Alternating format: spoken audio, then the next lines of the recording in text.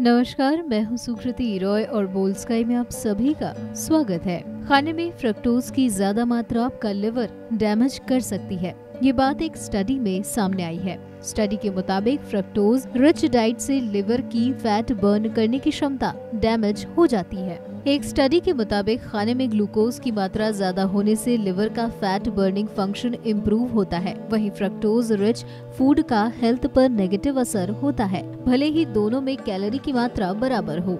बता दें कि इस स्टडी से सबसे ज़रूरी बात जो सामने आई है, वो ये है कि फ्रक्टोज रिच डाइट नुकसान करती है। बता दें कि हाई कैलोरी की वजह से नहीं, बल्कि इसके लिवर मेटाबॉलिज्म को प्रभावित करने की वजह से पड़ता है। फ्रक्टोज रिच डाइट लेने से आपका लिवर ज़्यादा फैट स्टोर करता है। वैज्ञानिकों ने ये भी पता लगाया कि फ्रक्टोज रिच डाइट के साथ खाने में फैट की मात्रा भी ज़्यादा है तो लिवर फ़ंक्शन गड़बड़ होने के चांसेस ज़्यादा रहते हैं। फ्रक्टोज सिंपल शुगर है जो फलों, सब्जियों और कुछ नेचुरल स्वीटनर्स में पाई जाती है। ये बाज़ार में स्वीटनर के तौर पर भी मिलता है। यहाँ है कुछ ऐसी चीज़ें जिनमें फ्रक्टोज की मात्रा ज़्यादा होती है। Soda frozen junk foods breads can fruits juice chips cookies energy drinks jam और जेली आइसक्रीम वगैरह।